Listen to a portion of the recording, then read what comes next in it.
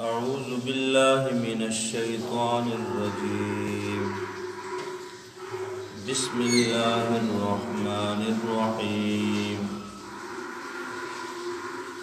والمحسنات من النساء إلا ما ملكت أيمانكم كتاب الله عليكم وأحل لكم ما وراء ذلكم أن تبتغوا بأموالكم محسنين غير مسافحين. فما استمتعتم به منهن فآتوهن أجورهن فريضة. ولا جناح عليكم فيما تراضيتم به من بعد الفريضة. إن الله كان عليما حكيما. پارہ نمبر پانچ سورہ نساء آیت نمبر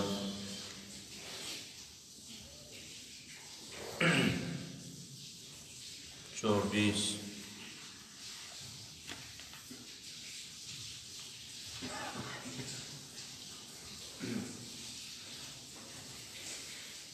اور شوہر والی خواتین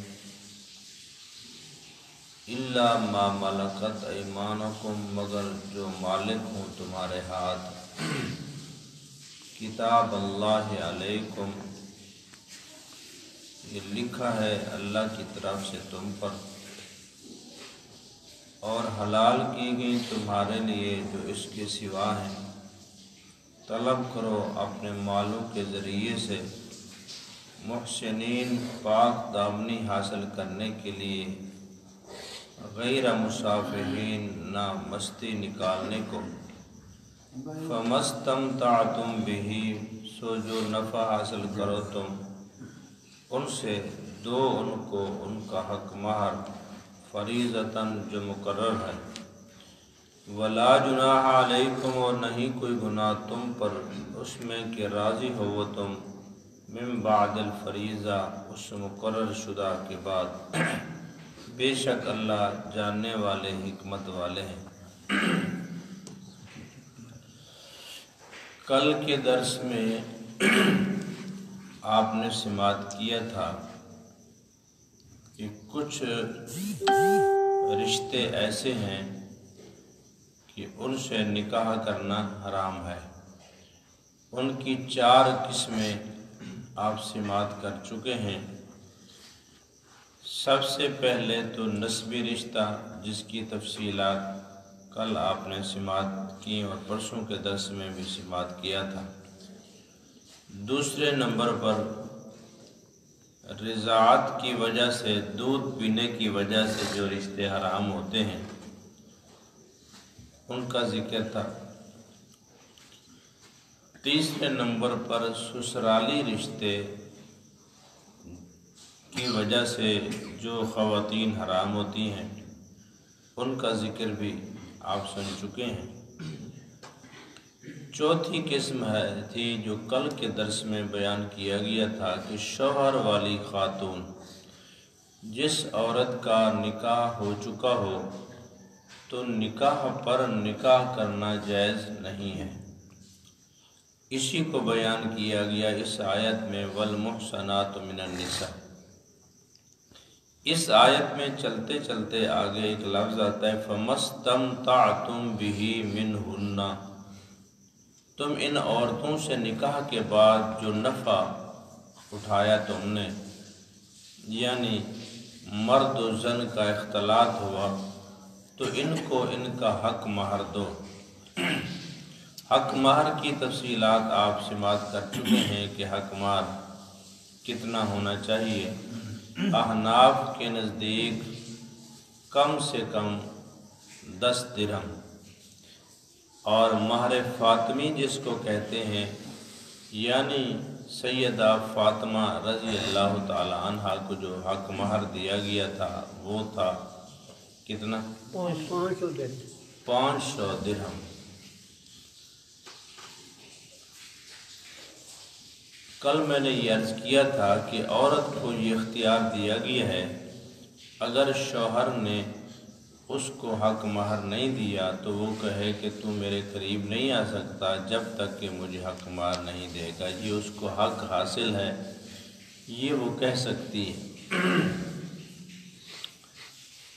میں پہلے بھی عرض کر چکا ہوں اور پھر ایک بار یہ ہمارے ہاں یہ جو حق مہر کا سلسلہ ہوتا ہے کہ نکاح کے وقت ایک تیسرا چوتھا آدمی بلکہ وہ آدمی جس کا ان سے کوئی تعلق بھی نہیں ہوتا وہ جا کر حق مار دیتا ہے۔ یعنی نکاح خاں بعض دفعہ نکاح ایک نکاح خاں ہوتا ہے اور ایک رجسٹرار ہوتا ہے۔ ان دونوں کا فرق سمجھتے ہو نا؟ جی۔ ایک نکاح پڑھتا ہے اور ایک نکاح لکھتا ہے۔ تو بعض دفعہ وہ جا کے دے دیتا ہے۔ تو اصل یہ حق تو شوہر کا ہے۔ یہ تیسرا جا کے دینے والا اس کی کیا حیثیت ہے؟ لیکن ہم وہی لکیر کے فقیر ہیں۔ جیسے چلتا آ رہے ہیں پتہ چلو تسامو کر جاتے ہیں۔ پنجابی جاتے ہیں، دڑ بٹ جاتے ہیں۔ چلو جو ہو رہا ہے۔ یہ اس شوہر کا حق ہے۔ میاں بیوی کے آپس کے جو حقوق ہوتے ہیں، وہ کسی دوسرے کے نہیں ہیں۔ اسی طرح یہ جو اس پر بھی میں کہہ تو چکا ہوں، کافی دفعہ لیکن یہ سختی سے بعض دفعہ کہنا پڑتا ہے پھر عمل ہوتا ہے۔ ویسے تو آپ کو بھی بہت ساری باتیں میں کافی عرصے سے کہتا آ رہا ہوں، آپ آپ بھی کہتے چلیں وہ کر لیں گے۔ تو جو نیکی کا کام کرنے کا ہے، وہ کرنے کا ہے۔ اس میں دیر نہیں ہونی چاہیے، اس کو فوراً کرنا چاہیے اور جس کا حق ہے وہی کرے۔ ایجاب قبول کے لیے بھی یہ مسئلہ کئی دفعہ آپ سن چکے ہیں۔ کہ نکاح خان کا بچی کے پاس جانا ضروری نہیں ہوتا۔ جب اس بچی کا باپ جو اس بچی کا سرپرست ہے، وہ موجود ہے اور وہ اپنی بیٹی سے اجازت لے چکا ہے، بلکہ بیٹی بھی ایگری ہوتی ہے، رضامند ہوتی ہے، تب بھی تو شادی طے ہوتی ہے نا۔ بیٹیاں اگر راضی نہ ہوں تو پھر کہاں شادی ہوتی ہے کہاں نکاح ہوتا ہے؟ اور بیٹی کو پتہ ہوتا ہے۔ اور ویسے بھی یہ شرم محسوس کیا جاتا ہے کہ باپ بیٹی سے کہے، بیٹی میں تیرا ادھر نکاح کر رہا ہوں۔ ہمارے معاشرے میں بعض جدید لوگ جو ہیں، وہ تو کہہ دیتے ہیں، اور اس کہنے میں بھی کوئی حرج نہیں ہے۔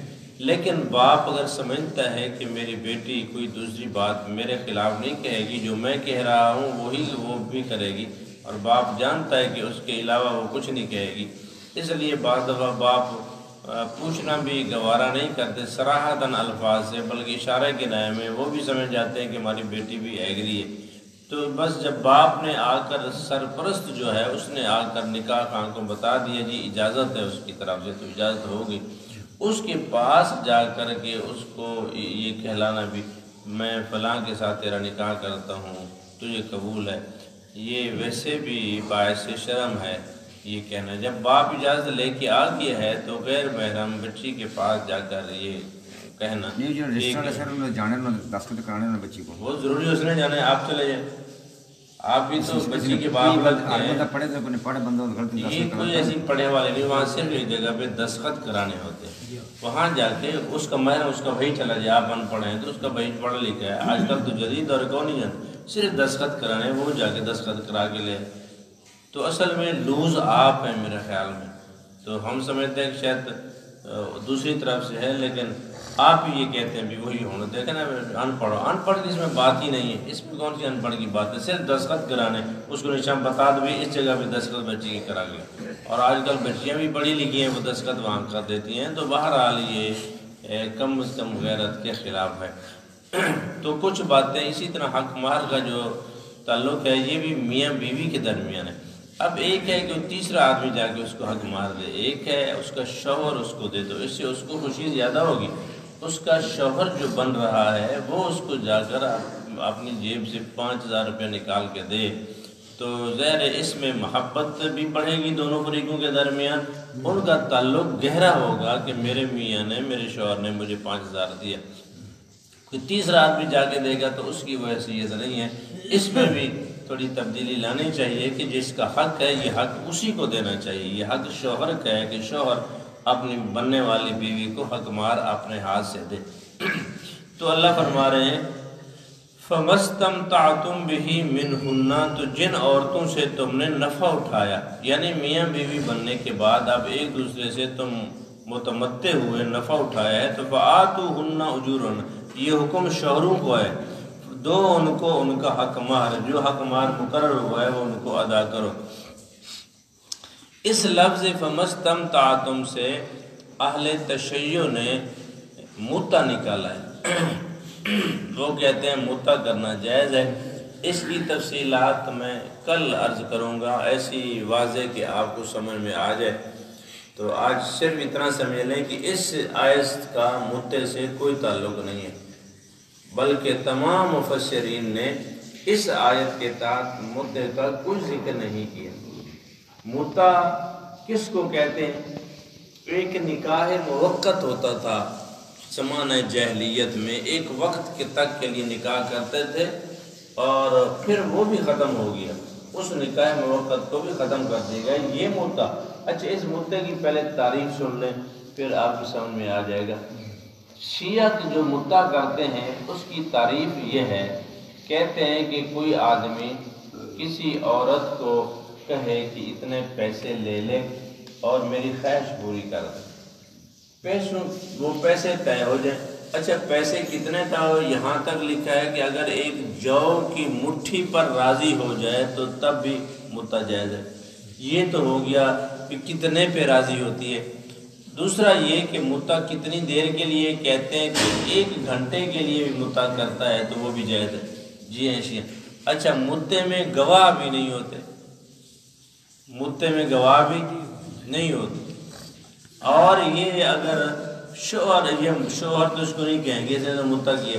یہ اگر مر گیا تو وہ جس سے اس نے متا کیا ہے، وہ اس کی جائیداد کی وارث بھی نہیں بنتی۔ اسی طرح اس کی جو اولاد ہوتی ہے وہ اس کی بھی نہیں کہلائے گی۔ تو زنا میں اور کیا ہوتا ہے؟ یہی کچھ نہیں ہوتا۔ وہاں بھی تو یہ ہوتا ہے کہ بار بیل ملاپ ہوا، کچھ دے دیوا کے۔ تو اپنی اس نے خواہش پوری کر لی۔ اور متے کی تعریف بھی ہوئی ہے، اس میں اور زنا میں تو فرق کوئی نظر آتا ہے تو بتائیں مجھے کہ اس میں اور اس میں کیا فرق ہے۔ یعنی یہاں بھی گواہ نہیں ہے۔ جو اہل تشریح یہاں کے ہاں متا ہوتا ہے، یہاں بھی گواہ ضروری نہیں ہے، صرف اس کو راضی کر لے کسی پیسے پر۔ جیسے میں نے کہا بھی جو کی ایک مٹھی پر راضی کر لے تجھے ایک مٹھ جو ہی دیں گا۔ وہ بھی راضی ہو جائے تو ٹھیک ہے متا کر لیں آپس میں۔ متا کا مطلب یہ ہے کہ آپس میں میاں بیوی والے جو حقوق ہیں وہ پورے کر لیں۔ اب جہاں گواہ بھی نہیں ہے تو گواہ کے بغیر کیسے وہ اس کے، اس میں آگے نکاح میں آگے؟ اور یہاں یوں بھی اشتراحت نہیں ہے کہ نکاح ان کا پڑا گیا۔ بلکہ عورت اور وہ آدمی آپس میں راضی ہو گئے تو ٹھیک ہو گیا، ٹھیک ہے، اس کے ساتھ متا کر لو۔ تو جنا بھی یہی چیز ہوتا ہے، اہل سنت والجماعت اس کو سراہتاً کہتے ہیں کہ یہی زنا ہے اور زنا میں بھی یہی کچھ ہوتا ہے، لہذا اس کی شران اجازت نہیں ہے۔ اب اس پر تفصیلات کیا ہیں؟ وہ ایک دو جھوٹی روایات بیان کرنے کی کوشش کرتے ہیں، لیکن پھر بھی ناکامی ہوتی ہے۔ ان کی یہاں مولانا قمی صاحب آئے تھے ایک دفعہ، بلکہ دو دفعہ۔ وہ جو تقابل ادان کورس ہوا کرتا تھا یہاں، تو وہ تشریف لائے تھے پڑھانے کے لیے۔ بقول ان کے کہ میری کمینی کے ساتھ پانچ، چھ ملاقاتیں ہیں۔ اور ان سے ہم نے یہ سوال کیا تھا دوران درس کہ چونکہ آپ ان کے عالم رہے ہیں اور ایران میں بھی رہے ہیں، تو وہاں آپ نے متا کیا۔ تو ایران میں متا کو سیگا کہتے ہیں۔ اور ایران میں آج بھی متا ہوتا ہے۔ وہاں عورتیں متا کرتی ہیں اور بلکہ ہوٹلوں کے اندر جو لوگ جاتے ہیں تو وہاں بھی ہوتے ہیں۔ میرے ساتھ ایک آدمی گجرا والا کا جیل میں تھا تو اس نے یہاں پاکستان میں اسے قتل ہو گیا اور وہ بھاگ کر یہاں سے ایران چلے گئے۔ وہ کہتے ہیں ہم وہاں ہوٹل میں جا کر کے رہے تو وہاں ایک خاتون آئی اور اس نے ہمیں کہا، بھی ہم آپ، میری بیٹی ہے، اس کے ساتھ آپ کا سیگا پڑھ دیتے ہیں۔ متے کو سیگا کہتے ہیں، سیگا پڑھ دیتے ہیں۔ تو کہتے ہمیں پتہ نہیں تھا وہ کیا ہوتا ہے، بعد میں پتہ چلا کہ یہ متا ہوتا ہے وہ۔ تو آج بھی ایران کے اندر متا ہوتا ہے۔ لیکن اس پر یہ جو خاص خاص لوگ ہوتے ہیں، ذاکر، اس کا ثواب بھی آپ سنیں گے تو حیران ہو گئے کل میں یہ عرض کروں گا کہ اس مدعے پر ثواب کتنا ہوتا ہے۔ اس پر جو ثواب کے انبار لگائے ہیں بھی نیکیاں اتنی ملتی ہیں وہ بھی حیران کن باتیں ہیں۔ اس قدر ثواب کے آدمی چار دفعہ مدعا کرنے سے حضور کے مقام کو پہنچ جاتا ہے؟ ایک دفعہ کرے تو حضرت حسن کا مقام ملتا ہے۔ دوسری دفعہ متا کرے متے کی تعریف تو سمجھ گیا نا؟ دوسری دفعہ متا کرے تو حضرت حسین کا مقام۔ اور بلکہ پہلی دفعہ کرے تو حضرت حسین کا، دوسری دفعہ حضرت حسن کا، تیسری دفعہ متا کرے تو حضرت علی کا مقام مل جاتا ہے متا کرنے والے کو۔ اور چوتھی دفعہ متا کرے تو حضور کا مقام ملتا ہے۔ آزان اللہ استغفر یعنی ثواب اس قدر ہے جو جیز شادی ہوتی ہے، اس پر تو کب اتنا نیکیوں کا کوئی وعدہ نہیں ہے۔ یہ جو نکاح کرتے ہیں، اتنے لاکھ روپے خرچ کر کے شادی کرتے ہیں اس پر تو اتنا نیکیاں نہیں ہے کہ شادی کرنے والا حضور کے مقام کو پہنچ جائے۔ البتہ مدعا کرنے پر اتنا کہتے ہیں، پھر صرف اتنا نہیں، جب یہ مدعا کرنے والا اور والی غسل کرتے ہیں اور ان کے غسل کے پانی کے قطرے نیچے ٹپکتے ہیں، تو ایک ایک قطرے سے ستر ستر فرشتے پیدا ہوتے ہیں۔ یا ستر ستر ہزار فرشتے پیدا ہوتے ہیں۔ اور یہ فرشتے جو پیدا ہوئے ایک ایک پانی کے قطرے سے یہ قیامت تک اس مدعا کرنے والے اور والی کے لیے مغفرت کی دعا کرتے ہیں۔ آزان اللہ اب بتاؤ جب ثواب اتنا بڑا اس پہ ہے تو کون ہے جو نہیں کرے گا؟ اسی لیے تو آپ لوگ کہتے تھے یار شیعہ مذہب بڑھتا جا رہے ہیں پہلے ان کیوں نہیں سے ہوندے ہونا زیادہ ہونے بس یہی وہ چیزیں ہیں جو لوگوں کو اس طرف میل کر رہی ہیں، گمراہ کر رہی ہیں۔ نوجوان نسل مری اس لیے تو بیک رہے ہیں نا، کہتے ہیں وہاں آزادی ہے۔ تو اس آزادی کی وجہ سے یہ لوگ ہمارے بیکتے جا رہے ہیں اور اس طرف، لیکن اتنا بھی پریشان ہونے والی بات نہیں ہے، اتنی پذیرائی نہیں ہے۔ الحمدللہ، حضرت مولانا حق نواز جھنگوی رحمت اللہ علیہ نے اتنی محنت کر دی ہے کہ آج بچے بچے کی زبان پر وہ نعرہ ہے، جو نعرہ لگتا رہتا ہے کہ ان لوگوں کا تو اسلام ان کے اپنے بچے بھی کہتے ہیں۔ کہ یہ کافر ہیں۔ ان کا اسلام سے کوئی تعلق نہیں، اس پر اتنی محنت ہو چکی ہے۔ الحمدللہ، آج یہ کہتے ہوئے بھی شرماتے ہیں لوگ کہ میں شیعہ ہوں۔ ہو کر بھی چھپاتے ہیں، اس کو کہ نہیں، میں وہ نہیں ہوں، میں تو عام مسلمان ہوں۔ تو اس آیت سے ان لوگوں نے اس مدعے کو ثابت کرنے کی کوشش کی ہے، جبکہ اس آیت کا مدعے سے کوئی تعلق نہیں ہے۔ فَمَسْتَمْتَعْتُمْ بِهِ مِنْهُنَّ، جو تم نے ان عورتوں سے نفع اٹھایا ہے تو فعتو ہن اجور ہن فریدا ان کے اور تمہارے درمیان جو حق مار مقرر ہو گیا ہے کہ اتنا دوں گا وہ شوہر کو اتنا حق مار دینا چاہیے، تو یہ اس کا تعلق نکاح والی عورتوں کے ساتھ ہے، نہ کہ ان عورتوں کے ساتھ جو بغیر نکاح کے متا کرتی ہیں اور ان کے لیے تو اس سے یہ ناپاک کوشش کی ہے انہوں نے، لیکن متا ایسے ثابت ہوتا نہیں ہے۔ اس پر مزید دلائل بھی اور اس کی وضاحت بھی۔ کل کے درس میں ہم عرض کریں گے انشاءاللہ۔ اللہ تعالی ہمیں اس طرح کے گناہوں سے بچنے کی توفیق عطا فرمائے۔ ایمان سے ایمان سے بڑی قیمتی چیز اور کوئی نہیں ہے۔ ایمان ہی سب سے قیمتی چیز ہے۔ خدا نہ خواستہ دنیاوی لالچ میں آ کر اگر کسی نے ایمان کا سودا کر دیا تو برباد ہو گیا وہ۔ میں نے پہلے بھی ایک دفعہ بتایا تھا کہ وہ جو قاضی شرح تھے بڑے جج تھے، چیف جسٹس تھے۔ ان کے پاس مقدمات آتے تھے اور ان کا انصاف بھی بڑا مشہور تھا۔ وہ ایک دفعہ ایسا ہوا کہ ان کے بیٹے کا کسی سے تنازع ہو گیا۔ قاضی شرح کے بیٹے کا تنازع ہو گیا کسی کے ساتھ۔ تو باپ چاہتا تھا کہ یہ مقدمہ لے آئیں میرے پاس اور میں انصاف پر فیصلہ کروں کیونکہ میرا بیٹا زیادتی کر رہا ہے۔ یہ باپ کے علم میں بات آئی کہ میرا بیٹے کی طرف سے زیادتی ہے، یہ کسی نہ کسی طرح کیس آنا چاہیے۔ تو بیٹے کو بھی ایسا ایسا تیار کرتے رہے، تو بیٹا تیار ہوا اور وہ کیس جو آدمی سے تنازع تھا کسی معاملہ میں باپ کی عدالت میں لے گیا، قاضی شرح کی عدالت میں لے گیا۔ اب جب قاضی شرح کی عدالت میں یہ کیس آیا، تو دو تین تاریخیں پڑھنے کے بعد بلکہ شاید یہ بھی میں زیادہ کہہ رہا ہوں، ایک دو تاریخیں پڑھنے کے بعد، اس وقت تو انصاف تھا اور یوں نہیں ہوتا تھا، سال ہا سال تک جناب لوگ دھکے کھاتے رہے، پھر جا کے کہیں وہ بھی پتہ نہیں انصاف ملے گا یا اوپر سے کوئی آرڈر آ گیا، پھر فیصلہ تو ہوتا ہے، آرڈر جو اوپر سے آتا ہے، اس کے مطابق کئی دفعہ ایسا ہم دیکھ چکے ہیں، اور بلکہ ہمارے اپنے ساتھ ایسا ہو چکا ہے۔ ابھی مجھ پر جو کیس بنا تھا، میں جیل سے رہا ہوا۔ نظر بند تھا اور وہاں سے رہائی ملی تو میں گھر بھی نہیں آیا۔ ابھی جیل سے نکلا باہر اور وہاں سے پھر مجھے گرفتار کر لیا۔ پھر ایسے جھوٹی ایک کہانی گڑ کے کہ یہ گلیانہ چوک میں کھڑے ہو کر ایک ایسی کتاب تقسیم کر رہا تھا کہ جس کتاب کو گورنمنٹ نے بین کر دیا تھا اس پر پابندی لگا دی تھی۔ میں نے میں تو جیل سے باہر ایک منٹ کے لیے بھی نہیں آیا کسی جیل سے نکلا تو ان کی حراست میں آ گیا اور پھر وہاں پھر ایک جھوٹی ایف آئی آر یہ کاٹی اور اس جھوٹی ایف آئی آر میں پھر ہمیں کتنا دھکے کھانے پڑے آپ دل میں کتنا ذلیل ہونا پڑا اور پھر اسی جھوٹی ایف آئی آر میں مجھے چار سال سزا کر دی گئی۔ تو انصاف کہاں ہے؟ یعنی ایک کیس کا وجود بھی نہیں ہے ہے ہی نہیں کیس۔ اور یوں من گڑت کہانی کر رہی ہے سی ٹی ڈی جو ہے اللہ ان کو نیک کرے۔ ہم یہی کہیں گے اللہ ان کو ہدایت دے اور نیک کرے۔ لوگوں کے ساتھ بہت زیادتی کر رہے ہیں۔ آخرت سے بے خبر ہو کر انجام سے بے خبر ہوگا۔ یہ نہیں سوچتے کہ کل ہمارے ساتھ کیا ہوگا۔ اور اس طرح کے جھوٹے کیس بنا کر پھر عدالتوں پر پریشر ڈال کر جج نہیں چاہتا تھا کہ میں سزا دوں اس لیے مجھے تین چار تاریخیں وہ لیٹ کرتا ابھی۔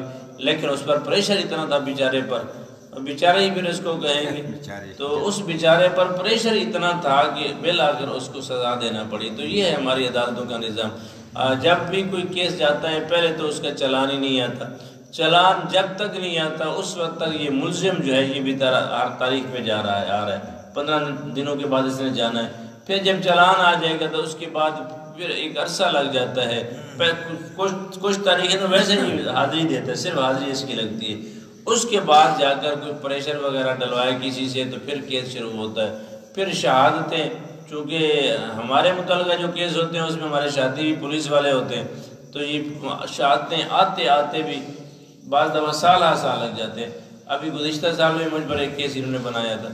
آپ کے علم ہی ہے کہ قاری صاحب کھالیں اکٹھی کر رہے تھے اور ہمیں مخبر خاص نے بتایا بھی ابھی آؤ تو موقع پہ پکڑے جائیں گے۔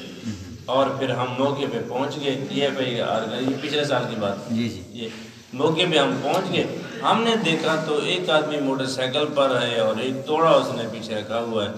تو اس نے ہمیں دیکھ لیا ہم نے اس کو دیکھ لیا تو ہمیں دیکھ کر وہ توڑا پھینک کر بھاگ گیا۔ بھاگنے میں کامیاب ہو گیا۔ تو ہم نے دیکھا تو توڑے میں ایک بڑی کھال تھی اور ایک چھوٹی کھال تھی اور اس کا رنگ یہ یہ تھا۔ یہ ایک یہ بھی جھوٹی کہانی ہے گھڑی اور یوں۔ لیکن اب اس میں کیا ہوا کہ مجھے تو پورا سال ہو گیا ذلیل ہوتے ہوئے میں تو دادوں میں جا رہا ہوں۔ اب یہ نہ کرتا گناہ پر یہ جو پریشانیاں آ رہی ہیں آخر اس پر بھی تو قیامت کے دن بات پرش ہوگی نا۔ اللہ پوچھیں گے یوں نہیں ہے کہ کسی کو جھوٹا الزام لگا کر کسی کیس میں پھنسا دیں اور پھر پوچھنے والا کوئی نہیں ہے۔ میں نے پولیس والوں کو کہا میں نے کہا ایمان سے کہو تم نے مجھے دیکھا تھا میں وہاں تھا۔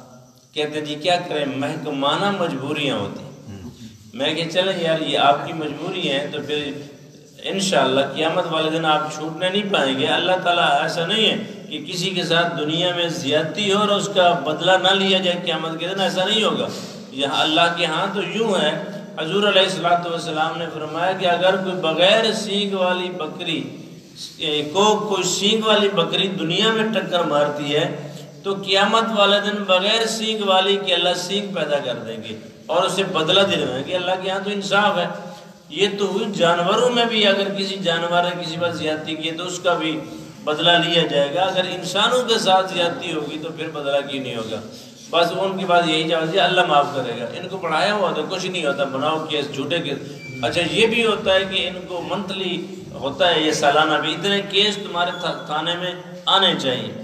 اب یہ سوچتے رہتے ہیں کس پر ایف آئی آر کاٹیں اور تو کوئی ملتا نہیں۔